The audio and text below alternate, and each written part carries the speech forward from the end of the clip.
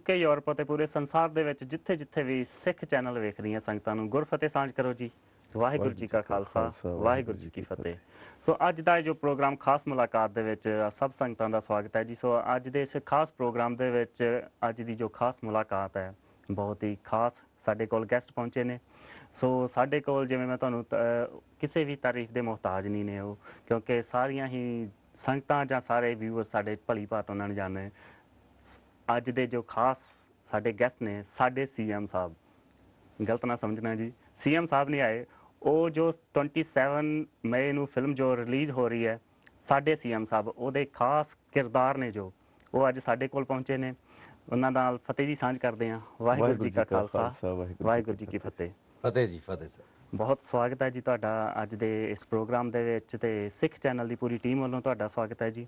ਸੋ ਤੁਸੀਂ ਸਾਡੇ ਕੋਲ ਆਏ ਅਸੀਂ ਸਾਡੇ ਵਡਭਾਗ ਵੀ ਕਹਿ ਸਕਦੇ ਹਾਂ ਕਿ ਸਾਡੇ ਕੋਲ ਇੰਨੇ ਨੇ ਵੱਡੇ ਜੋ ਪੰਜਾਬੀ ਫਿਲਮ ਨੂੰ ਇੱਕ ਮੋੜ ਦੇਣ ਵਾਲੇ ਜੋ ਅਸੀਂ ਪੰਜਾਬੀ ਫਿਲਮਾਂ ਦਾ ਦੌਰ ਬਹੁਤ ਅਪ ਡਾਊਨ ਰਿਹਾ ਪਹਿਲਾਂ ਵੀ। ਸੋ। ਪੰਜਾਬੀ ਫਿਲਮਾਂ ਦੇ ਵੱਖ-ਵੱਖ ਦੌਰ ਪਹਿਲਾਂ ਕੁਝ ਹੋਰ ਦੌਰ ਸੀ। ਫਿਰ ਥੋੜਾ ਜਿਹਾ ਕਾਮੇਡੀ ਦੌਰ ਆ ਗਿਆ। ਫਿਰ ਕਾਮੇਡੀ ਦੌਰ ਤੋਂ ਬਾਅਦ ਦੂਸਰਾ ਦੌਰ ਆ ਗਿਆ ਜਿਨ੍ਹਾਂ ਨੇ ਇਸ ਫਿਲਮਾਂ ਦੇ ਜ਼ਰੀਏ ਸਮਾਜ ਨੂੰ ਇੱਕ ਨਵਾਂ ਰੁਖ ਦਿੱਤਾ। ਸਮਾਜ ਨੂੰ ਇੱਕ ਨਵਾਂ ਰੂਪ ਦਿੱਤਾ, ਜਿਹਦੇ ਜ਼ਰੀਏ ਅਸੀਂ ਸਮਾਜ ਵਿੱਚ ਜੋ ਚੱਲ ਰਹੀਆਂ ਕੁਰੀਤੀਆਂ ਜਾਂ ਉਹਨਾਂ ਨੂੰ ਉਭਾਰਿਆ। ਸੋ ਉਹਨਾਂ ਵਿੱਚੋਂ ਹੀ ਸਾਡੇ ਕੋਲ ਅੱਜ ਦੋ ਖਾਸ ਗੈਸਟ ਆਏ ਨੇ। ਸੋ ਬਹੁਤ ਸਵਾਗਤ ਕਰਦੇ ਹਾਂ ਜੀ। ਸੋ ਪਹਿਲ, ਸਭ ਤੋਂ ਪਹਿਲਾਂ ਮੈਂ ਮਾਨ ਸਾਹਿਬ ਜੀ ਨਾਲ ਗੱਲ ਕਰਦਾ ਕਿ ਮਾਨ ਸਾਹਿਬ ਜੀ, ਜਿਵੇਂ ਤੁਸੀਂ ਇਹ ਜੋ 27 ਨੂੰ ਫਿਲਮ ਰਿਲੀਜ਼ ਹੋ ਰਹੀ ਹੈ, ਸਾਡੇ ਸੀਐਮ ਸਾਹਿਬ। ਸੀਐਮ ਸਾਹਿਬ ਕੌਣ ਨੇ ਉਹਦੇ ਵਿੱਚ?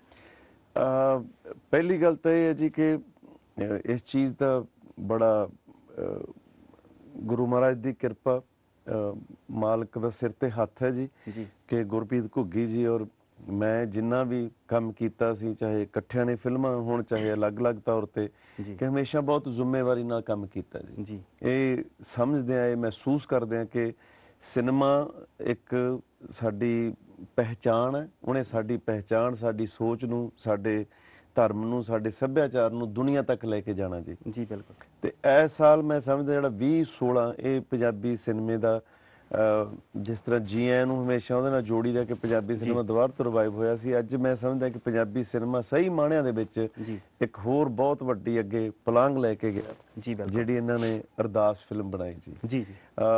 ਸੋ ਇੱਕ ਕੰਟੈਂਟ ਤੇ ਇੱਕ ਚੰਗੀ ਗੱਲ ਤੇ ਚੰਗੇ ਸਨੇਹੇ ਦੇ ਨਾਲ ਫਿਲਮ ਬਣਾ ਕੇ ਵੀ ਕਾਮਯਾਬ ਕੀਤੀ ਜਾ ਸਕਦੀ ਹੈ ਮੇਰਾ ਖਿਆਲ ਹੈ ਜਿਹੜਾ ਪਿਛਲੇ 4-5 ਸਾਲਾਂ ਦੇ ਵਿੱਚ ਪੰਜਾਬੀ ਸਿਨੇਮੇ ਦੇ ਵਿੱਚ ਫਿਰ ਦੁਬਾਰ ਤੋਂ ਬਹੁਤ ਗਲਤ ਫਿਲਮਾਂ ਬਣੀਆਂ। ਜੀ ਬਿਲਕੁਲ। ਉਹਨਾਂ ਨੂੰ ਇੱਕ ਜਵਾਬ ਸੀ।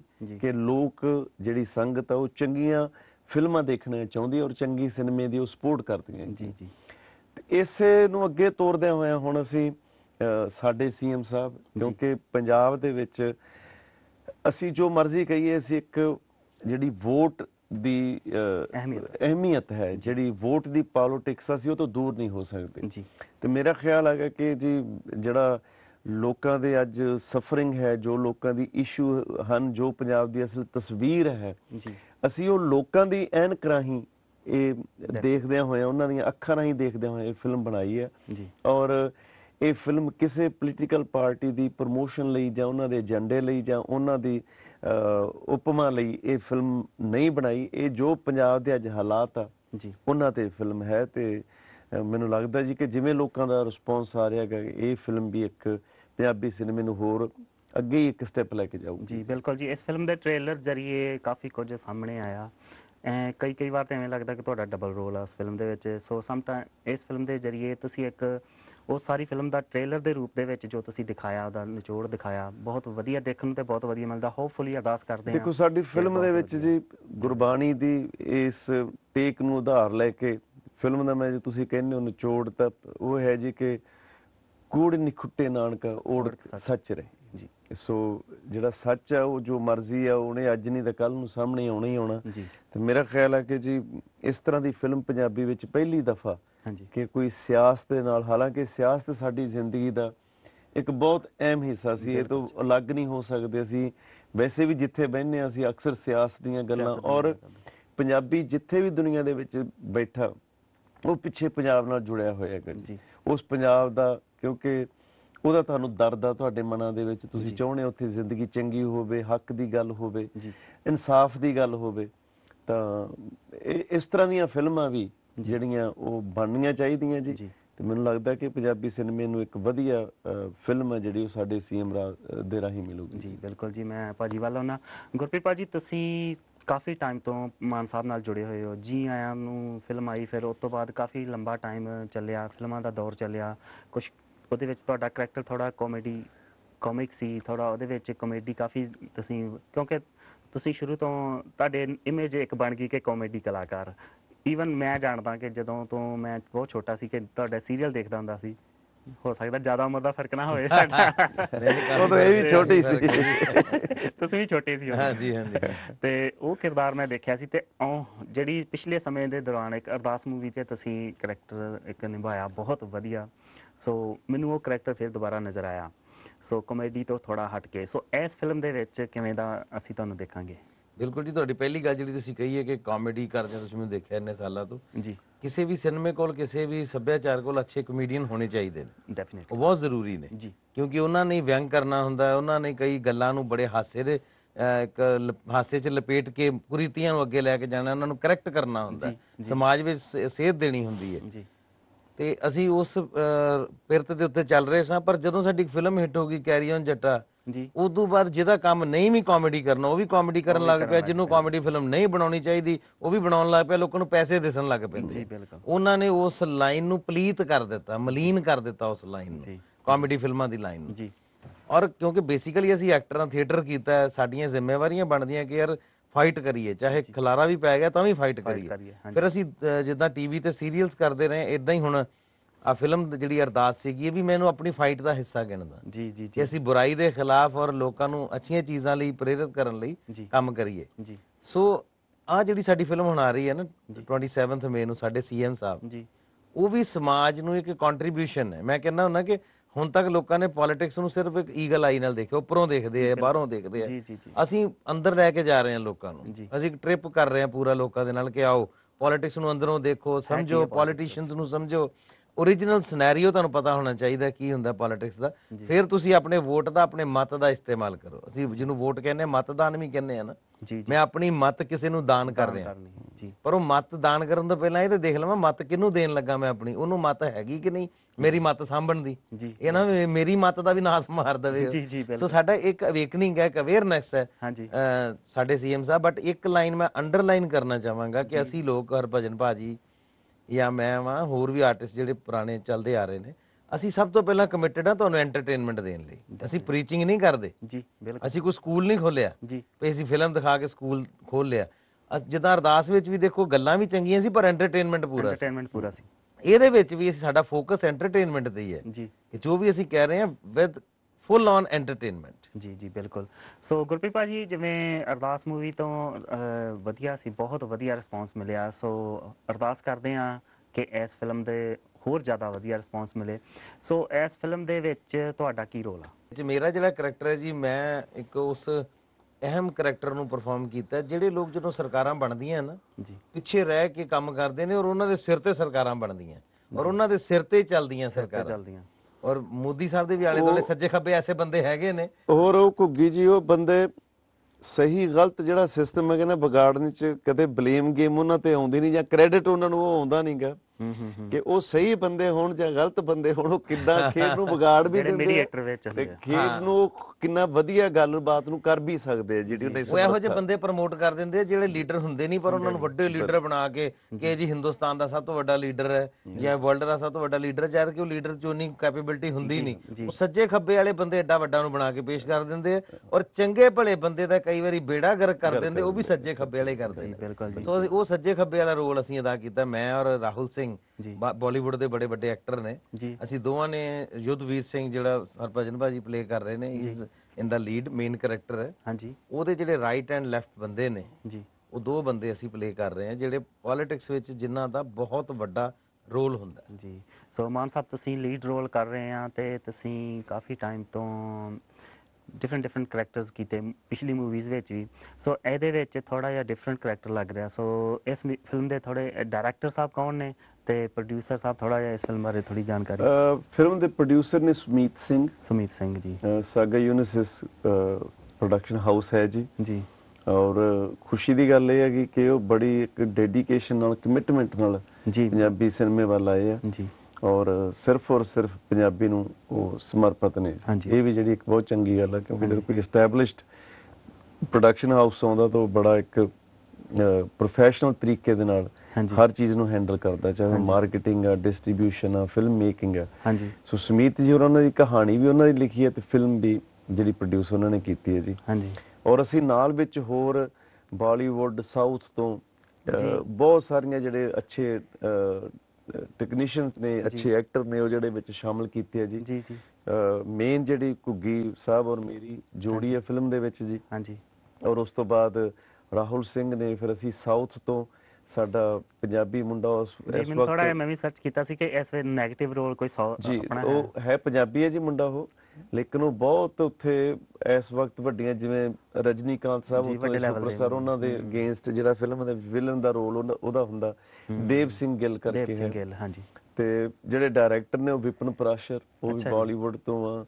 ਸੁਨੀਤਾ ਰਾਡੀਆ ਜੀ ਕੈਮਰਾ ਵੂਮਨ ਜਿਹੜੀ ਸਾਡੀ ਹੈ ਉਹਨੇ ਰੰਗ ਦੇ ਬਸੰਤੀ ਵਰਗੀਆਂ ਫਿਲਮਾਂ ਨਾਲ ਜੁੜੀ ਰਹੀ ਹੈ ਸੋ ਇੱਕ ਅੱਛੇ ਲੋਕਾਂ ਦਾ ਸ਼ਾਮਲ ਹੋਣਾ ਕਿਉਂਕਿ ਐਡਾ ਵੱਡਾ ਜਿਹੜਾ ਸਬਜੈਕਟ ਆ ਜੀ। ਉਹਨੂੰ ਜਸਟੀਫਾਈ ਕਰਨ ਲਈ ਉਹਨੂੰ ਸਕਰੀਨ ਤੇ ਜਿਵੇਂ ਤੁਸੀਂ ਸੋਚੋ ਉਵੇਂ ਦਿਖਾਉਣ ਲਈ ਦਿਖਾਉਣ ਲਈ। ਤੁਹਾਡੇ ਕੋਲੇ ਉਹ ਟੀਮ ਚਾਹੀਦੀ ਹੈ। ਜੀ।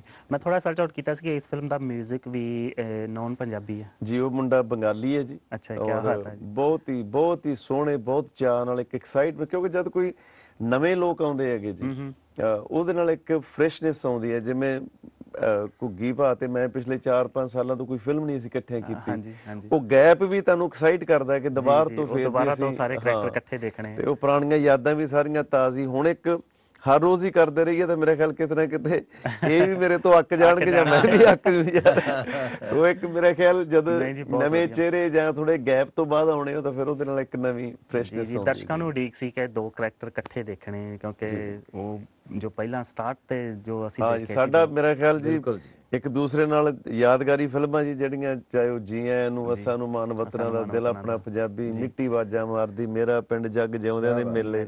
ਮੇਰਾ ਕੋਲ ਲਾਈਨ ਲਗਾ ਕੇ ਜੀ ਜਿਹੜੀ ਅਸੀਂ ਦਿਲ ਆਪਣਾ ਪੰਜਾਬੀ ਇੰਗਲੈਂਡ 'ਚ ਸ਼ੂਟ ਸ਼ੂਟ ਕੀਤੀ ਵਾਹ। ਉਹ ਲੋਕਾਂ ਦੇ ਦਿਲਾਂ 'ਚ ਮੁੰਡੀ ਸਾਹਿਬ। ਉਮਰ ਤੱਕ ਰਹਿਣੀ ਹੈ ਜਦ ਤੱਕ ਲੋਕ ਹੈਗੇ ਨੇ ਉਦੋਂ ਤੱਕ ਦਿਲਾਂ 'ਚ ਰਹਿਣੀ ਲੋਕਾਂ ਦੇ। ਉਹ ਫਿਲਮ ਆ ਜੀ ਗਈ ਆਇਆਂ ਨੂੰ ਤਾਂ ਮਤਲਬ ਇੱਕ ਸਟicker ਲੇਬਲ ਬਣ ਗਿਆ ਪੰਜਾਬੀ। ਸਿਨੇਮਾ ਮਤਲਬ ਜੀ ਆਇਆਂ ਨੂੰ। ਜੀ ਅਹ ਉਸ ਦੌਰ ਤੋਂ ਬਾਅਦ ਮੂਵੀ ਦੇਖਣ ਦਾ ਸਭ ਤੋਂ ਮਤਲਬ ਉਦੋਂ ਪਤਾ ਲੱਗਾ ਸੀ ਕਿ ਸ਼ੁਕਰ ਆ ਕਿਤੇ ਪੰਜਾਬੀ ਮੂਵੀ ਕੋਈ ਵਧੀਆ ਉਹ ਲੈਵਲ ਤੇ ਦਰਵਾਜ਼ਾ ਬਣ ਗਿਆ ਜੀ banner ਤੇ ਪੰਜਾਬੀ ਬਣੀ ਸਿਨੇਮੇ ਦਾ ਜਿਹੜੀ ਜੀ ਆਇਆਂ ਨੂੰ ਹੈ ਨਾ ਹਾਂਜੀ। ਜਦੋਂ ਵੀ ਤੁਸੀਂ ਪੰਜਾਬੀ ਸਿਨੇਮੇ ਦੇ ਅੰਦਰ ਜਾਣਾ ਤੁਸੀਂ ਉਹ ਡੋਰ 'ਚੋਂ ਲੰਘ ਕੇ ਜਾਓ। ਲੰਘ ਕੇ ਵਾਹ ਜੀ ਬਿਲਕੁਲ।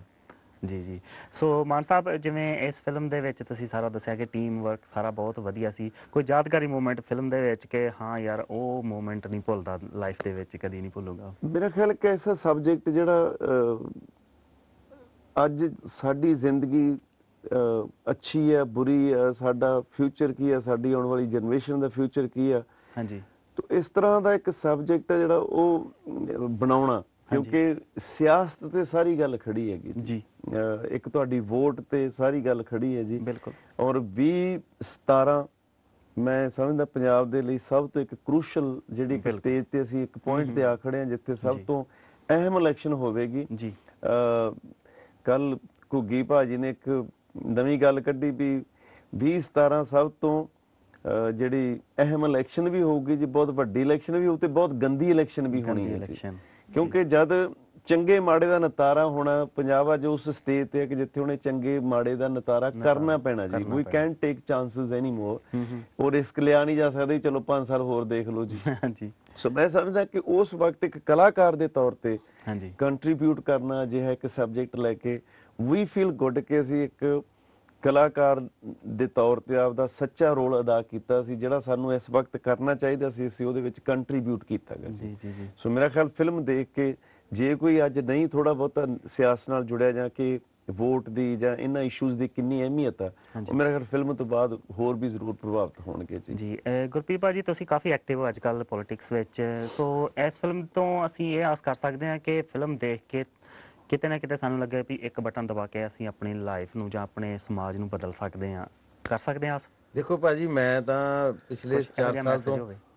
ਇਲੈਕਸ਼ਨ ਕਮਿਸ਼ਨ ਦਾ ਬ੍ਰਾਂਡ ਐਮਬੈਸਡਰ ਵੀ ਰਿਹਾ। ਜੀ ਬਿਲਕੁਲ। ਮੈਂ ਤਾਂ 4 ਸਾਲ ਇਹੀ ਪ੍ਰਮੋਟ ਕਰਦਾ ਰਿਹਾ ਕਿ ਤੁਹਾਡਾ ਇੱਕ ਜਿਹੜਾ ਦੱਬਿਆ ਬਟਨ ਹੈ ਜੀ। ਉਹੀ ਤੁਹਾਡੀ ਜ਼ਿੰਦਗੀ ਦੀ ਖੁਸ਼ਹਾਲੀ ਨੂੰ ਔਨ ਕਰ ਸਕਦਾ ਉਹੀ ਆਫ ਕਰ ਸਕਦਾ। ਜੀ ਬਿਲਕੁਲ। ਇਹ ਤੁਹਾਡੀ ਪ੍ਰੋਸਪੈਰਿਟੀ ਦਾ ਔਨ ਆਫ ਬਟਨ ਹੈ। ਜੀ ਇਹਨੂੰ ਐ ਨਾ ਸਮਝੋ ਕਿ ਇੱਕ ਬੰਦੇ ਨੂੰ ਤੁਸੀਂ ਵੋਟ ਪਾ ਜੀ। ਦਿੱਤੀ it is totally up to you ਕਿ ਤੁਸੀਂ ਪਾਣ ਜਾਂਦੇ ਹੋ ਕਿ ਨਹੀਂ ਵੋਟ ਹਾਂਜੀ। ਪਰ ਜੇ ਤੁਸੀਂ ਨਹੀਂ ਪਾਉਂਦੇ ਇਹਦਾ ਮਤਲਬ ਤੁਸੀਂ 네ਗੇਟਿਵ ਪੋਲਿਟਿਕਸ ਦੇ ਵਿੱਚ ਇਨਵੋਲਵ ਤਾਂ ਹੈਗੇ ਹੀ ਹੋ। ਤੁਸੀਂ ਇਹ ਮਤ ਸੋਚੋ ਤੁਸੀਂ ਇਨਵੋਲਡ ਨਹੀਂ ਹੋ। ਤੁਸੀਂ 네ਗੇਟਿਵ ਪੋਲਿਟਿਕਸ ਦੇ ਵਿੱਚ ਇਨਵੋਲਵ ਹੋ ਗਏ ਯਾਰ ਕੀ ਫਾਇਦਾ ਇੱਥੇ ਸੁਧਰਨਾ ਤਾਂ ਹੈ ਨਹੀਂ ਲੋਕਾਂ ਨੇ ਕੀ ਇਹ ਕਰ ਬੈਠਿਆ ਤਾਂ ਹੁਣ ਰਹੀ ਜੀ। ਇਹ ਵੀ ਪੋਲਿਟਿਕਸ ਹੀ ਹੈ ਕਰ ਬੈਠਿਆ ਤਾਂ ਹੁਣ ਹੁਣ ਰਹੀ ਜੀ।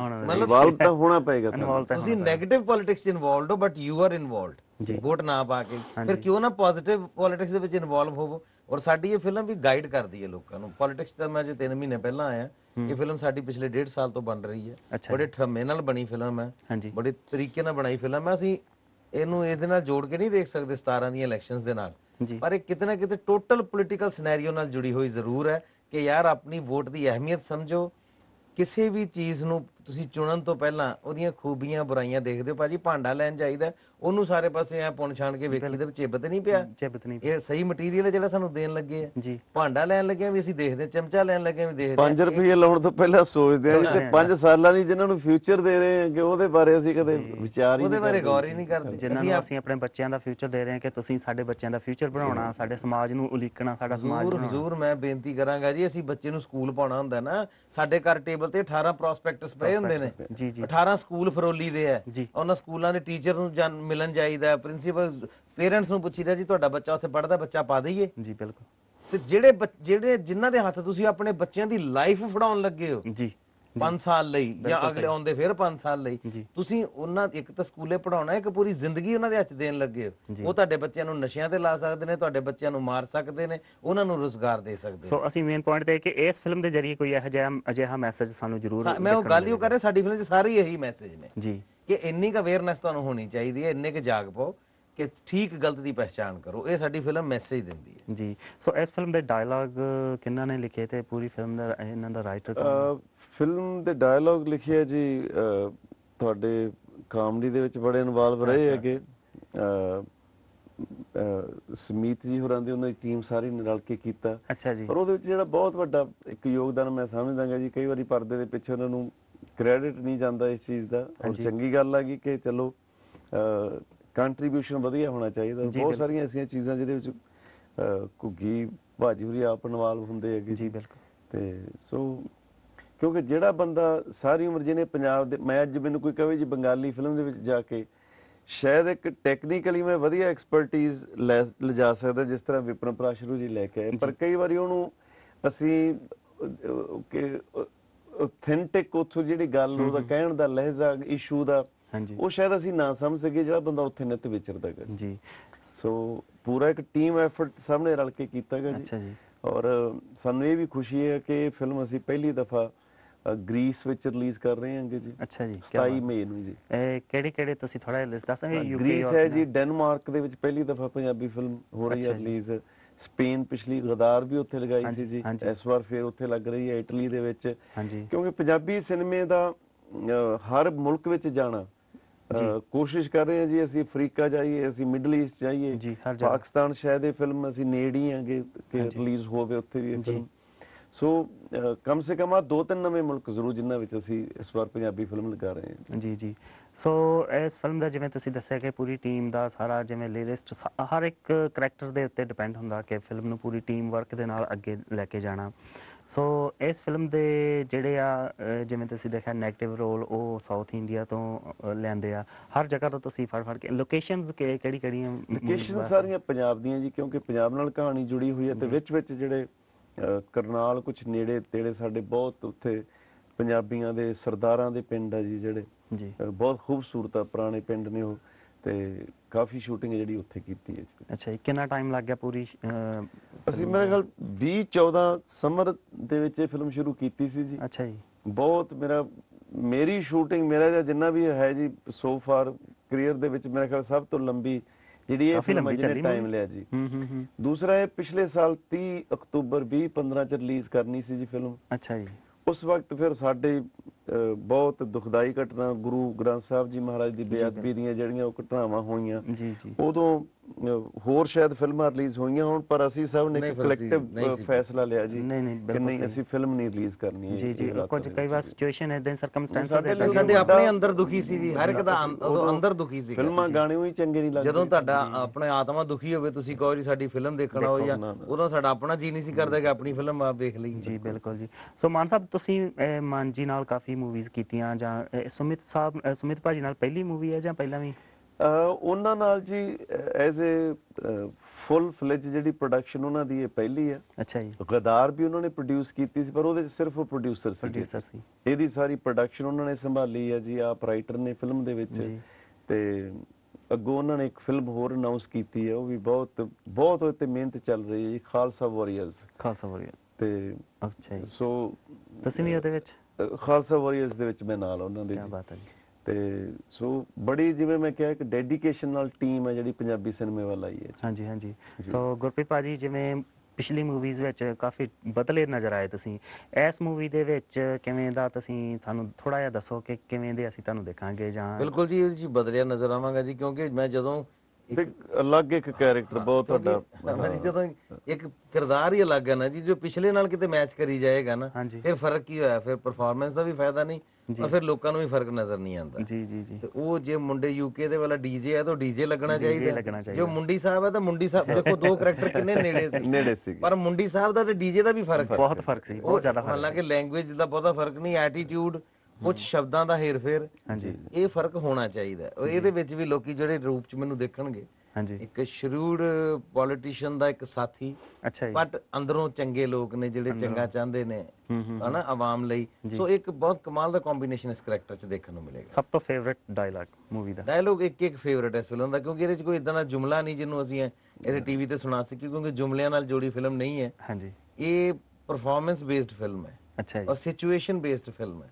ਉਹ ਲੋਕੀ ਦੇਖਣਗੇ ਤੇ ਇਹਦੇ ਡਾਇਲੋਗ ਵੈਸੇ ਹੀ ਯਾਦ ਰੱਖਣਗੇ ਲੋਕ। ਠੀਕ ਹੈ ਜੀ। ਸੋ ਮਾਨ ਸਾਹਿਬ ਤੁਸੀਂ ਕੁਝ ਸਭ ਤੋਂ ਜਿਹੜਾ ਫੇਵਰਿਟ ਤੁਹਾਨੂੰ ਲੱਗਾ ਕਿ ਆਹ ਲਾਈਨ ਮੇਰੀ ਸਭ ਤੋਂ ਫੇਵਰਿਟ ਸੀ ਕਈ ਵਾਰ ਪੈਟ ਡਾਇਲੌਗ ਬਣ ਜਾਂਦਾ ਕਿਸੇ ਵੀ ਮੂਵੀ ਦਾ ਜਿਵੇਂ ਪਿਛਲੀ ਮੂਵੀਜ਼ ਵਿੱਚ ਹੀ ਤੁਹਾਡਾ ਕੋਈ ਐਵੇਂ ਦਾ ਕੁਝ ਆ ਸਾਡਾ ਜੀ ਹੁਣੇ ਕੱਲ ਹੀ ਜਿਵੇਂ ਦੱਸਿਆ ਤੁਹਾਨੂੰ ਇੱਕ ਗੁਰਬਾਣੀ ਦੀ ਟੇਕ ਲੈ ਕੇ ਹਾਂਜੀ। ਉਹਦੇ ਤੇ ਫਿਲਮ ਦੇ ਵਿੱਚ ਜੀ, ਬੈਕ ਜੀ। ਡ੍ਰੌਪ ਚ ਥਰੂ ਆਊਟ ਚੱਲਣਾ ਕਿ ਜੀ। ਮੈਂ ਗੁੰਗਣਾ ਕੇ ਵੀ ਸੁਣਾ ਦਿੰਦਾ ਜੀ ਤੁਹਾਨੂੰ। ਬਿਲਕੁਲ ਪਲੀਜ਼ ਜਿਹੜਾ ਫਿਲਮ ਦਾ ਨਿਚੋੜ ਹੈ ਜੀ ਕਿ ਬਾਬੇ ਨਾਨਕ ਨੇ ਬਾਣੀ ਵਿੱਚ ਬਾਬੇ ਨਾਨਕ ਨੇ ਬਾਣੀ ਵਿੱਚ ਇਹੋ ਗੱਲ ਕਹੀ। ਕੂੜ ਨਿਖੁੱਟੇ ਨਾਨਕਾ ਓੜਕ ਸੱਚ ਰਹੀ। ਕੂੜ ਨਿਖੁੱਟੇ ਨਾਨਕਾ ਓੜਕ ਸੱਚ ਰਹੀ। ਕੀ ਬਾਤ ਹੈ ਜੀ। ਇਹਦੇ ਵਿੱਚ ਬਹੁਤ ਵਧੀਆ ਮੈਸੇਜ ਵੀ ਹੈ ਕਿ ਗੁਰੂ ਨਾਨਕ ਸਾਹਿਬ ਜੀ ਦੀ ਬਾਣੀ ਦੇ ਵਿੱਚ ਵੀ ਸੱਚ ਦੇ ਹਮੇਸ਼ਾ ਸੱਚ ਦਾ ਹੀ ਉਤਾਰਾ ਹੋਣਾ ਜੀ ਕਿਤੇ ਵੀ ਚੱਲ ਜਾਓ। ਸੋ ਮਾਨ ਸਾਹਿਬ ਤੁਹਾਡੇ ਕਿੰਨੇ Song ਹੈ ਇਸ ਮੂਵੀ ਦੇ ਵਿੱਚ? ਮੈਂ ਜੀ 2.5 ਸੌਂਗ ਨੇ ਮੇਰੇ। ਇਹ ਕਿਦਾਂ ਜੀ ਢਾਈ ਕੀ ਹੋਇਆ? ਕਿਉਂਕਿ ਜਿਹੜਾ ਤੀਸਰਾ ਜੀ ਉਹ ਅਸੀਂ ਪਹਿਲੀ ਦਫਾ ਕਿ ਕੋਈ ਗਾਣਾ ਸੀ ਇਕੱਠਿਆਂ ਨੇ ਜਿਹੜਾ ਜੀ। ਅਹ, ਅੱਛਾ ਤੁਸੀਂ ਵੀ? ਅਸੀਂ ਕ- ਕ- ਗਾਣੇ ਚ ਅਸੀਂ ਤਿੰਨ ਦੋਸਤ ਇਕੱਠੇ ਆ। ਇਕੱਠੇ ਆ ਜੀ। ਤੁਸੀਂ ਵੀ ਗਾਇਆ ਨਾਲ? ਐਂ ਹੀ ਸਮਝ ਲਓ ਗਾਇਆ ਤਾਂ ਕਿਹੜਾ ਲੋਕਾਂ ਨੂੰ ਲੱਗਣਾ ਨਹੀਂ ਨਾਲ ਜਿਹੜਾ ਹਾਂਜੀ ਆਮ ਤੌਰ ਤੇ ਮੇਰਾ ਖਿਆਲ ਕੋਈ ਪਹਿਲਾਂ ਆਪਣਾ ਗਾਣਾ ਨਹੀਂ ਇਕੱਠਿਆਂ ਦਾ ਨਹੀਂ ਕੋਈ ਇਕੱਠੇ ਕਿਸੇ ਫਿਲਮ ਚ। ਇਦਾਂ ਨਹੀਂ ਸੀ ਔਰ ਉਹ ਗਾਣਾ ਵੀ ਬਹੁਤ ਅੱਛਾ ਗਾ ਜੀ ਬਹੁਤ ਹੀ ਮੀਨਿੰਗਫੁਲ ਬਾਬੂ ਸਿੰਘ ਮਾਨ ਸਾਹਿਬ ਨੇ ਲਿਖਿਆ ਗਾਣੇ ਅੱਛਾ ਜੀ ਔਰ ਜਿਸ ਤਰ੍ਹਾਂ ਹੁੰਦੇ ਔਰ ਅਸੀਂ ਫਿਲਮ 'ਚ ਕਦੇ ਜ਼ਬਰਦਸਤੀ ਗਾਣਾ ਕੋਈ ਪਾਇਆ ਨਹੀਂ ਜੀ। ਪਾਇਆ ਨਹੀਂ ਔਰ ਲੋਕਾਂ ਨੂੰ ਲੋ- ਦੋਸਤਾਂ ਨੂੰ ਆਪਣੇ ਬਚਪਨ ਦੇ ਦੋਸਤ ਯਾਦ ਆਉਣਗੇ। ਬਚਪਨ ਦੀਆਂ ਗੱਲਾਂ ਬਚਪਨ ਦੀਆਂ ਸ਼ਰਾਰਤਾਂ ਸਾ ਉਹ ਬੜਾ ਕਮਾਲ ਦਾ Song ਬਣਿਆ ਜੀ। ਮੈਂ ਜਿੱਥੋਂ ਤੱਕ ਮੇਰਾ ਐਕਸਪੀਰੀਅੰਸ ਆ ਹੁਣ ਤੱਕ ਉਹ ਚੀਜ਼ਾਂ ਬਹੁਤ ਜ਼ਿਆਦਾ ਫੇਮਸ ਹੋਈਆਂ ਜਿਹੜੀ ਜਿਸ ਗਾਣੇ ਜਾਂ ਜਿਸ ਮੂਵੀ ਦੇ ਵਿੱਚ ਆਪਣਾ ਆਪਨ ਨਜ਼ਰ ਆਵੇ ਬਿਲਕੁਲ ਹੈ ਹੀ ਉਹ ਜੀ ਗਾਣੇ ਜੀ ਸਾਡੇ ਅੱਜ ਵੀ ਚਿੱਠੀਆਂ ਨਹੀਂ ਚਿੱਠੀਆਂ ਲੋਕਾਂ ਨੂੰ ਕਿਉਂ। ਚੰਗਾ ਲੱਗਦਾ ਜਿਹੜੀ ਜਿਹੜਾ। ਜਜ਼ਬਾਤ ਜਿਹੜੀ ਫੀਲਿੰਗ ਤੁਹਾਡੇ ਨਾਲ ਜੁੜੀ ਜੇ ਤੁਸੀਂ ਮਹਿਸੂਸ ਕਰੋ ਆ ਸੀਨ ਦੇਖ ਕੇ ਜੀ ਆਹ ਤਾਂ ਜਿਵੇਂ ਮੇਰੀ ਗੱਲ ਹੋ। ਰਹੀ ਹੈ। ਜਾਂ ਕੋਈ ਗਾਣਾ ਹੈਗਾ ਜੀ ਕੋਈ ਤਾਂ ਉਹ ਆਬਵੀਅਸਲੀ ਤਿੰਨ ਰੰਗ ਨਹੀਂ ਲੱਭਣੇ ਬੀਬਾ ਹੁਸਨ ਜਵਾਨੀ ਤੇ ਮਾਪੇ ਸੋ ਇਹ ਗੱਲਾਂ ਜਿਹੜੀਆਂ ਸਾਡੀ ਜ਼ਿੰਦਗੀ ਨਾਲ ਜੁੜੀਆਂ ਹੋਈਆਂ ਜੀ ਉਹ ਹਮੇਸ਼ਾ ਹੀ ਜਜ਼ਬਾ ਕਲਾ ਕੀ ਹੈ? ਜੀ। ਕਲਾ ਇੱਕ ਜਜ਼ਬਾਤ ਹੈ ਜੀ, ਇੱਕ। ਫੀਲਿੰਗ ਹੈ ਇੱਕ ਇਮੋਸ਼ਨ ਹੈ। ਤੇ ਜੇ ਅਸੀਂ ਉਹੀ ਵਿੱਚ ਨਹੀਂ ਹੋਏਗਾ ਤਾਂ ਫਿਰ ਉਹ ਲੋਕਾਂ ਦੇ ਮਨਾਂ ਤੇ ਅਸਰ ਥੋੜੋ ਕਰੇਗੀ ਉਹ। ਗੱਲ। ਅੱਜ ਵੀ ਮੈਨੂੰ ਯਾਦ ਆ ਜੀ ਕਿੱਥੇ ਨਹੀਂ ਫਰਮਾਇਸ਼ ਆਉਂਦੀ ਕਿਵੇਂ ਵੰਡਾਂਗੇ ਕਿਵੇਂ ਵੰਡਾਂਗੇ ਤੈਨੂੰ ਮਾਂ? ਜੀ। ਜੋ ਹਰ ਇੱਕ ਪਰਿਵਾਰ ਹੀ ਇਹਨਾਂ ਚੀਜ਼ਾਂ ਇਹਨਾਂ ਹਾਲਾਤਾਂ ਵਿੱਚੋਂ ਗੁਜ਼ਰਦਾ ਹੈ ਜੀ। ਸੋ ਤੁਸੀਂ ਜਿਵੇਂ ਕਿਹਾ 2.5 Songs ਸੋ 2.5 Songs ਤੋਂ ਇੱਕ Song ਕਿਸੇ ਹੋਰ Song ਦਾ ਕੋਈ ਬੋਲ ਦੋ ਚਾਰ। ਜਿਹੜਾ ਸਾਡਾ ਜੀ ਦੋਸਤਾਂ ਵਾਲਾ ਦਾ, ਮੈਂ ਹਾਂ, ਉਹ ਇਕੱਠਿਆਂ ਦਾ ਹੋ ਜੇ। ਉਹ ਹੈ ਜੀ ਕਿ ਇਹ ਦੁਨੀਆ ਦਾ ਗੋਰਖ ਤੰਦਾ ਇਸ ਤੰਦੇ ਵਿੱਚ ਉਲਝਿਆ ਬੰਦਾ। ਇਹ ਸੁਲਝਾਇਆ ਨਹੀਂ ਸੁਲਝਣਾ ਰਹਿਣ ਦੇ ਉਲਝਿਆ ਨਾ ਸੁਲਝਾ। ਕੀ ਬਾਤ। ਜਗਤ ਤਮਾਸ਼ਾ ਵੇਖੀ ਜਾ ਚੁੱਪ ਕਰ ਜਾ ਮਤ ਬੋਲੀ ਨਾ। ਜਗਤ ਤਮਾਸ਼ਾ ਵੇਖੀ ਜਾ ਚੁੱਪ ਕਰ ਜਾ ਮਤ ਬੋਲੀ ਨਾ। ਕੀ ਬਾਤ ਹੈ ਜੀ ਕੀ ਬਾਤ ਹੈ ਸੋ ਇਸ ਬੋਲ ਸੁਣ ਕੇ ਮੈਨੂੰ ਦਿਖ ਰਿਹਾ ਕਿ ਬਹੁਤ ਵੱਡਾ ਮੈਸੇਜ ਆਊਗਾ ਮੂਵੀ ਦੇ ਥਰੂ ਕਿ ਜੋ ਸਾਡੇ ਸਮਾਜ ਦੇ ਵਿੱਚ ਕੁਰੀਤੀਆਂ ਨੇ ਜੋ ਸਾਡੇ ਸਮਾਜ ਦੇ ਕੁਰੀਤੀਆਂ ਵੀ ਅਸੀਂ ਖੁਦ ਹੀ ਪੈਦਾ ਕੀਤੀਆਂ। ਬਿਲਕੁਲ। ਤੇ ਉਹ ਬਹੁਤ ਵਧੀਆ ਮੈਸੇਜ ਆਊਗਾ ਸੋ ਔਰ ਮੈਂ ਇੱਕ ਗੱਲ ਜ਼ਰੂਰ ਕਹਿਣਾ ਜੀ ਕਿ ਇਸ ਗੱਲੋਂ ਗੁਰਪ੍ਰੀਤ ਘੁੱਗੀ ਜੀ ਮੈਂ ਜੀ। ਚਾਹੇ ਕਈਆਂ ਨੂੰ ਇਹ ਗੱਲ ਸਾਡੀ ਕੌੜੀ ਵੀ ਲੱਗੇ ਕਿ ਉਹ ਕੁਰੀਤੀਆਂ ਵਿੱਚ ਉਹ ਪੰਜਾਬ ਦੇ ਯੂਥ ਦਾ ਨੁਕਸਾਨ ਕਰਨ ਦੇ ਵਿੱਚ ਇੱਕ ਬਹੁਤ ਹੱਦ ਤੱਕ ਅਸੀਂ ਕਲਾਕਾਰ ਵੀ ਜ਼ਿੰਮੇਵਾਰ ਹਾਂ। ਜੀ ਬਿਲਕੁਲ। ਕਿ ਇਸ ਤਰ੍ਹਾਂ ਦੇ ਗਲਤ ਗਾਣੇ ਇਸ ਤਰ੍ਹਾਂ ਦੀਆਂ ਗਲਤ ਫਿਲਮਾਂ ਮੈਸੇਜ ਸੁਨੇਹੇ ਜਿਹੜੇ ਅਸੀਂ ਯੂਥ ਨੂੰ ਦਿੰਨੇ ਆ ਜੀ। ਹਾਂਜੀ। ਤੇ ਉਹਦੇ ਵਿੱਚ ਕਿਉਂਕਿ ਬੱਚਿਆਂ ਨੇ ਗੱਲ ਦਾ ਅਸਰ ਕਬੂਲ ਲੈਣਾ ਜਦੋਂ ਟੀਵੀ ਦੇਖਦੇ ਆ ਜਦੋਂ ਕਿਸੇ ਚੀਜ਼ ਦਾ। ਤੇ ਫਿਰ ਉਹ ਮਤਲਬ ਉਹਦੇ ਵਿੱਚ ਕਲਾਕਾਰ ਨੂੰ ਵੀ ਬਹੁਤ ਜ਼ਿੰਮੇਵਾਰੀ ਨਾਲ ਗੱਲ ਕੰਮ ਕਰਨਾ ਚਾਹੀਦਾ ਗੱਲ ਕਰਨੀ ਚਾਹੀਦੀ ਸਰ ਅਸੀਂ ਕੌਮ ਤਾਂ ਉਹ ਹੈ ਜਿਨ੍ਹਾਂ ਨੂੰ ਗੁਰੂ ਨਾਨਕ ਸਾਹਿਬ ਨੇ ਸੁਨੇਹਾ ਦਿੱਤਾ ਸੀ ਕਿ ਨਾਮ ਖੁਮਾਰੀ ਨਾਨਕਾ ਚੜੀ ਰਹੇ ਦਿਨ ਉਹ ਕਿਹੜੇ ਖੁਮਾਰ ਦੀ ਗੱਲ ਕਰ ਰਹੇ ਨੇ। ਅਸੀਂ ਬੱਚਿਆਂ ਨੂੰ ਨਸ਼ੇ ਦੀ ਗੱਲ ਕਰਦੇ ਵੇ ਵੀ ਨਸ਼ਾ ਕਰ ਤੇ ਮਸਤੀ ਚ ਰਹਿ। ਸੂਟਾ ਲਾ ਜਾਂ ਕਰ ਇਹ- ਕਲਾਕਾਰ ਦਾ ਇਹ ਫਰਜ਼ ਥੋੜਾ ਬਣਦਾ ਇਹ ਧਰਮ ਨਹੀਂ ਹੈਗਾ। ਜੀ ਜੀ। ਤੇ ਅਸੀਂ ਮਤਲਬ ਮਹਾਰਾਜ ਦੇ ਮੈਸੇਜ ਨੂੰ ਝੁਠਲਾ ਰਹੇ ਹਾਂ ਵੀ ਉਹ ਮੈਸੇਜ ਗਲਤ ਸੀ। ਜੀ। ਸੋ ਖੁਮਾਰੀ ਵੈਸੀ ਨਾਮ ਦੀ ਰਹਿਣੀ ਚਾਹੀਦੀ ਹੈ ਸੱਚਾਈ ਦੀ ਅੱਛਾਈ ਦੀ ਖੁਮਾਰੀ ਰਹਿਣੀ ਚਾਹੀਦੀ ਹੈ। ਜੀ। ਸੋ ਕਲਾਕਾਰਾਂ ਨੇ ਕਿਤੇ ਨਾ ਕਿਤੇ ਨੁਕਸਾਨ ਜ਼ਰੂਰ ਕੀਤਾ ਹਥਿਆਰਾਂ ਨੂੰ ਪ੍ਰਮੋਟ ਕਰਕੇ ਜੀ। ਔਰ ਨਸ਼ੇ ਨੂੰ ਪ੍ਰਮੋਟ ਕਰਕੇ ਅਗਰੈਸ਼ਨ ਨੂੰ ਪ੍ਰਮੋਟ ਕਰਕੇ। ਔਰ ਵੈਲੀਪੁਣੇ ਨੂੰ ਪ੍ਰਮੋਟ ਕਰਕੇ। ਇਹ ਚਾਰ ਚੀਜ਼ਾਂ ਐਸੀਆਂ ਗਲਤ ਪ੍ਰਮੋਟ ਹੋਈਆਂ ਨੇ। ਇਹਨੇ ਪੰਜਾਬੀ ਕਲਚਰ ਦਾ ਬਹੁਤ ਨੁਕਸਾਨ ਕੀਤਾ। ਮੈਂ ਤੁਹਾਡੀ ਗੱਲ ਨਾਲ ਹੀ ਲਿੰਕ ਅਪ ਕਰਦਾ ਕਿ ਜੱਟ ਦਾ ਐਡਾ ਕ ਮਾੜਾ ਰੂਪ ਦਿਖਾ ਦਿੱਤਾ। ਤੁਸੀਂ ਇੱਕ Song ਦੇ ਵਿੱਚ ਵੀ ਕਹੇ ਸੀ ਜੱਟ ਐਡਾ ਵੀ ਨਹੀਂ ਮਾੜਾ ਜਿੰਨਾ ਤੁਸੀਂ ਜੱਟ ਐਡਾ ਵੀ ਨਹੀਂ। ਜੱਟ ਮਾੜਾ ਹੈ ਹੀ ਨਹੀਂ। ਜੱਟ ਹੈ।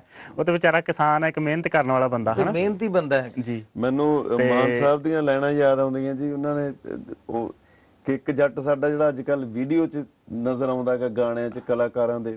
ਉਹਨਾਂ ਨੇ ਲਾਈਨ ਲਿਖੀ ਕਿ ਐਵੇਂ ਚਾੜੀ ਜਾਵੇਂ ਟੌਰ ਅਸਮਾਨੀ ਜੱਟਾਂ ਦੀ। ਜੀ। ਐਵੇਂ ਚਾੜੀ ਜਾਵੇਂ ਟੌਰ ਅਸਮਾਨੀ ਜੱਟਾਂ ਦੀ ਓਏ ਨਿਤ ਜ਼ਹਿਰ ਖਾ ਖਾ ਮਰਦੀ ਜਵਾਨੀ ਜੱਟਾਂ ਦੀ। ਚਾਰੇ ਪਾਸੇ ਹੋਈ ਇਹ ਤਾਂ ਬਸ ਘੇਰੇ ਦੁੱਖ ਨੇ। ਇੱਥੇ ਪਿਆਰ ਤੋਂ ਬਗੈਰ ਵੀ ਬਥੇਰੇ ਦੁੱਖ। ਹਾਂ ਹਾਂ ਕੀ ਬਾਤ ਹੈ ਕੀ ਬਾਤ ਸਾਨੂੰ ਕਲਾਕਾਰਾਂ ਨੂੰ ਜੀ ਥੋੜਾ ਜਿਹਾ ਜ਼ਿੰਮੇਵਾਰੀ ਨਾਲ ਕੰਮ ਕਰਨਾ ਚਾਹੀਦਾ ਕਿਉਂਕਿ ਜੋ ਕਹਿਤਾ ਉਹ ਬੱਚਿਆਂ ਨੇ ਉਹਨਾਂ ਨੇ ਅਸਰ ਉਹਦਾ ਕਬੂਲ ਲੈਣਾ ਗਾ। ਜੀ। ਸੋ ਗੱਲ ਤੇ ਜੀ ਸਿਰ ਤੇ ਨਹੀਂ ਕੁੰਡਾ ਤੇ ਹਾਥੀ ਫਿਰੇ ਲੁੰਡਾ ਸਿਰ ਤੇ ਸੈਂਸਰ ਕੋਈ ਨਹੀਂ। ਕੋਈ ਪੁੱਛਣ ਨਹੀਂ, ਵਾਲਾ ਨਹੀਂ ਪੁੱਛਣ ਜੋ ਵਾਲਾ ਬੋਲ। ਦਿੰਦੇ ਆ ਨੈਟ ਤੇ ਚਾੜ ਦਿੰਦੇ ਆ। ਨੈਟ ਤੇ ਨਿਆਣੇ ਸੁਣ ਕੇ ਉੱਤੇ ਭੰਗੜੇ ਪਾਈ ਜਾਂਦੇ ਆ। ਜੀ ਜੀ। ਬਰਬਾਦ ਹੋ ਗਏ ਸੋ ਟਾਈਮ ਕਿਤਨੇ ਇਜਾਜ਼ਤ ਨਹੀਂ ਦਿੰਦਾ। ਗੱਲਾਂ ਅਜੇ ਬਹੁਤ ਸਾਰੀਆਂ ਜਮਾ ਹੋਈਆਂ ਸੀ। ਸੋ ਸਬੱਬ ਬਣੇਗਾ ਤਾਂ ਫਿਰ ਜੀ ਗੱਲਾਂ ਜ਼ਰੂਰ ਕਰਾਂਗੇ। ਸੋ ਇਸ ਫਿਲਮ ਬਾਰੇ ਲਾਸਟ 30 ਸੈਕਿੰਡ ਦੇ ਵਿੱਚ ਕੀ ਮੈਸੇਜ ਦੇਣਾ ਚਾਹੋਗੇ? ਮੈਂ ਬੇਨਤੀ ਕਰਾਂਗਾ ਜੀ ਕਿ ਤੁਸੀਂ ਉਮੀਦ ਕਰਦੇ ਹੋ ਕਿ ਤੁਹਾਡੇ ਕਲਾਕਾਰ ਤੁਹਾਡੇ ਲਈ ਕੰਮ ਕਰਨ ਚੰਗਾ ਕੰਮ ਕਰਨ ਤੇ ਅਸੀਂ ਤੁਹਾਡੀ ਉਮੀਦ ਤੇ ਹਮੇਸ਼ਾ ਪੂਰਾ ਉਤਰਨ ਦੀ ਕੋਸ਼ਿਸ਼ ਕਰਦੇ ਹਾਂ। ਪਿਛਲੀਆਂ ਮੇਰੀਆਂ ਫਿਲਮਾਂ ਜੱਟ ਜੇਮਸ ਬੌਂਡ ਦੀ ਵੀ ਮੈਂ ਗੱਲ ਕਰਾਂ ਤੇ ਉਹਦੇ ਵਿੱਚ ਵੀ ਅਸੀਂ ਇੱਕ ਭਾਵੇਂ ਉਹ ਬਹੁਤ ਜ਼ਿਆਦਾ ਮੈਸੇਜ ਨਾਲ ਲਬਰੇਜ਼ ਨਹੀਂ ਸੀ ਪਰ ਉਹਦੇ ਵਿੱਚ ਵੀ ਹਿਡਨ ਮੈਸੇਜ ਸੀ ਕਿ ਗਰੀਬ ਦੀਆਂ ਭਾਵਨਾਵਾਂ ਦਾ ਵੀ ਸਤਿਕਾਰ ਹੋਵੇ ਤੇ ਉਹ ਕਦੇ ਗਲਤ ਰਸਤੇ ਨਹੀਂ ਤੁਰਦਾ। ਇਦਾਂ ਹੀ ਅਰਦਾਸ ਬਹੁਤ ਸਾਰੇ ਮੈਸੇजेस ਦੇ ਨਾਲ ਭਰੀ ਹੋਈ ਸੀ ਔਰ ਇਹ ਮੇਰੀ ਗਾਰੰਟੀ ਹੈ ਕਿ ਸਾਡੇ ਸੀਐਮ ਸਾਹਿਬ ਇੱਕ ਨਵਾਂ ਮਰਹਲਾ ਹੋਏਗਾ ਨਵਾਂ ਦਿਸ਼ਾ ਦਾ ਹੋਏਗਾ ਜਿਹੜਾ ਨਵੇਂ ਇੱਕ ਲੈਵਲ ਤੇ ਲੈ ਕੇ ਜਾਏਗਾ ਨੈਕਸਟ ਲੈਵਲ ਤੇ ਲੈ ਕੇ ਜਾਏਗਾ ਪੰਜਾਬੀ ਸਿਨੇਮੇ ਨੂੰ। ਮਸਟ ਵਾਚ ਸਾਡੇ ਸੀਐਮ ਸਾਹਿਬ। ਆਪ ਵੀ ਦੇਖੋ ਆਪਣੇ ਬੱਚਿਆਂ ਨੂੰ ਵੀ ਦਿਖਾਓ। ਪੰਜਾਬ ਪੰਜਾਬ ਦੇ ਪੋਲੀਟੀਕਲ ਸਿਨੈਰੀਓ ਨੂੰ ਵੀ ਸਮਝਣ ਦੀ ਇਹਦੇ ਵਿੱਚ ਤੁਹਾਨੂੰ ਸਹੂਲਤ ਮਿਲੇਗੀ। ਸੋ ਮਸਟ ਵਾਚ ਸਾਡੇ ਜੀ ਮਾਨ ਸਾਹਿਬ ਤੁਸੀਂ? ਮੈਂ ਤੁਹਾਡੇ ਚੈਨਲ ਦੇ ਜ਼ਰੀਏ ਜੀ ਪਹਿਲੀ ਗੱਲ ਤਾਂ ਕਿ ਸਭ ਦਾ ਫੇਰ ਧੰਨਵਾਦ ਕਰ ਦੇਵਾਂ ਕਿ ਅਸੀਂ ਜੋ ਕੁਝ ਹਾਂ ਇੰਨਾ ਲੰਮਾ ਜਿਹੜਾ 25 ਸਾਲਾਂ ਦਾ ਸਫ਼ਰ ਆ ਉਹ ਤੁਹਾਡੀਆਂ ਦੁਆਵਾਂ ਤੁਹਾਡੀਆਂ ਸੀਸਾਂ ਮਹਾਰਾਜ ਦੀ ਕਿਰਪਾ ਕੇ ਸਿਰ ਤੇ ਮਿਹਰ ਭਰਿਆ ਹੱਥ ਰੱਖਿਆ ਔਰ ਹਮੇਸ਼ਾ ਚੰਗਾ ਕਰਨ ਦੀ ਕੋਸ਼ਿਸ਼ ਕੀਤੀ ਹੈ। ਸਾਡੇ ਸੀਐਮ ਸਾਹਿਬ 27 ਮਈ ਨੂੰ ਰਿਲੀਜ਼ ਹੋਣੀ ਹੈ ਤੁਹਾਡੀ ਆਪਣੀ ਫਿਲਮ। ਮੇਰਾ ਖਿਆਲ ਇਹ ਤਾਂ ਜਿੱਥੇ ਗੁਰਪ੍ਰੀਤ ਘੁੱਗੀ ਜਾਂ ਹਰਭਜਨ ਨਾਮ ਮਾਨ ਨਾਮ ਆਉਂਦਾ ਤੁਹਾਨੂੰ ਸੋਚਣ ਦੀ ਜ਼ਰੂਰਤ ਨਹੀਂ ਕਿ ਇਹ ਪਰਿਵਾਰਕ ਫਿਲਮ ਹੈ ਤੁਹਾਡੇ ਪਰਿਵਾਰਾਂ ਲਈ ਤੁਹਾਡੀਆਂ ਗੱਲਾਂ ਬਾਤਾਂ ਤੁਹਾਡੇ ਪਿੰਡ ਤੁਹਾਡੇ ਦੁੱਖ ਸੁੱਖ ਤੁਹਾਡੇ ਹਾਸੇ ਮਜ਼ਾਕ ਇਸ ਫਿਲਮ ਵਿੱਚ ਜ਼ਰੂਰ ਤੁਸੀਂ ਪਰਿਵਾਰਾਂ ਨਾਲ ਜਾ ਕੇ ਇਹ ਫਿਲਮ ਦੇਖਣੀ ਜੀ, ਬਿਲਕੁਲ ਜੀ। ਬਹੁਤ ਧੰਨਵਾਦ ਜੀ। ਸਿੱਖ ਚੈਨਲ ਦਾ ਹਮੇਸ਼ਾ ਇਹੀ ਏਜੰਡਾ ਰਿਹਾ ਹੈ ਕਿ ਕਿਤੇ ਵੀ ਕਿਤੇ ਇਨਸਾਨੀਅਤ ਦੇ ਨਾਲ ਕੋਈ ਧੱਕਾ ਹੁੰਦਾ ਜਾਂ ਕਿਤੇ ਵੀ ਜਾ ਕੇ ਕਿਸੇ ਇਨਸਾਨੀਅਤ ਇਨਸਾਨੀਅਤ ਦੀ ਗੱਲ ਹੁੰਦੀ ਹੈ ਜਿੱਥੇ ਅਸੀਂ ਉਹ ਮੈਸੇਜ ਜ਼ਰੂਰ ਤੁਹਾਡੇ ਤੱਕ ਪਹੁੰਚਾਉਂਦੇ ਹਾਂ। ਆਪਣੀ ਸੰਗਤਾਂ ਤੱਕ ਰੂਬਰੂ ਜ਼ਰੂਰ ਕਰਾਉਂਦੇ ਆ ਉਹਨਾਂ ਨੂੰ। ਸੋ ਅਜਿਹੀਆਂ ਹੀ ਇਹੋ ਜਿਹੇ ਪ੍ਰੋਗਰਾਮਾਂ ਦੇ ਜ਼ਰੀਏ ਅਸੀਂ ਇਹੋ ਜਿਹੀਆਂ ਸ਼ਖਸੀਅਤਾਂ ਨੂੰ ਤੁਹਾਡੇ ਰੂਬਰੂ ਕਰਾਉਂਦੇ ਰਹਿੰਦੇ ਹਾਂ, ਜਿਨ੍ਹਾਂ ਨੇ ਕੋਈ ਮੈਸੇਜ ਛੱਡਿਆ ਹੋਵੇ। ਸਮਾਜ ਵਾਸਤੇ ਜਾਂ ਜਿਵੇਂ ਇਹਨਾਂ ਨੇ ਦੋ ਸਾਡੇ ਕੋਲ ਅੱਜ ਕਿਰਦਾਰ ਆਏ ਨੇ, ਸਾਡੇ ਕੋਲ ਗੈਸਟ ਆਏ ਨੇ, ਇਹਨਾਂ ਦੀਆਂ ਪਿਛਲੀਆਂ ਫਿਲਮਾਂ ਦੇ ਜ਼ਰੀਏ ਇਹਨਾਂ ਨੇ ਬਹੁਤ ਜ਼ਿਆਦਾ ਵਧੀਆ ਮੈਸੇਜ ਛੱਡੇ ਸਿੱਖ ਸੰਗਤਾਂ ਵਾਸਤੇ, ਪੂਰੀ ਦੁਨੀਆ ਵਾਸਤੇ, ਸਾਡੇ ਵਿਊਅਰਸ ਵਾਸਤੇ। ਸੋ ਗੱਲਬਾਤ ਕਰਦਿਆਂ ਦੌਰਾਨ ਕਿਸੇ ਵੀ ਕਿਸੇ ਦੇ ਵੀ ਸ਼ਾਨ ਦੇ ਖਿਲਾਫ ਜੇ ਅਸੀਂ ਕੁਝ ਬੋਲ ਗਏ ਹੋਈਏ ਤਾਂ ਅਣਜਾਣ ਬੱਚੇ ਸਮਝ ਕੇ ਮਾਫ ਕਰ ਦੇਣਾ। ਸੋ ਫਿਰ ਤੋਂ ਬਾਅਦ ਦੁਬਾਰਾ ਅਸੀਂ ਇਸ ਪ੍ਰੋਗਰਾਮ ਦੇ ਜ਼ਰੀਏ ਕਿਸੇ ਨਾ ਕਿਸੇ ਖਾਸ ਸ਼ਖਸੀਅਤ ਨੂੰ ਤੁਹਾਡੇ ਰੂਬਰੂ ਕਰਾਉਂਦੇ ਰਵਾਂਗੇ। ਸੋ ਇਜਾਜ਼ਤ ਦਿਓ ਜੀ। ਲਾਸਟ ਵਿੱਚ ਗੁਰਫਤਿਹ ਸਾਂਝ ਕਰੋ ਜੀ। ਵਾਹਿਗੁਰੂ ਜੀ ਕਾ ਖਾਲਸਾ ਵਾਹਿਗੁਰੂ ਜੀ ਕੀ ਫਤਿਹ।